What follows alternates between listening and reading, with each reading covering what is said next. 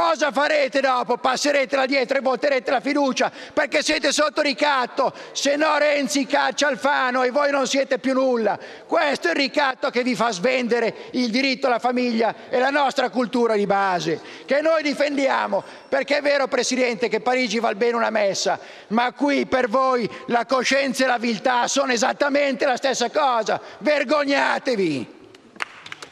È iscritto a parlare il senatore Davigo. Vi prego di levare lo striscione che non è necessario visto la chiarezza degli argomenti. Prego i commessi di provvedere anche per i cartelli.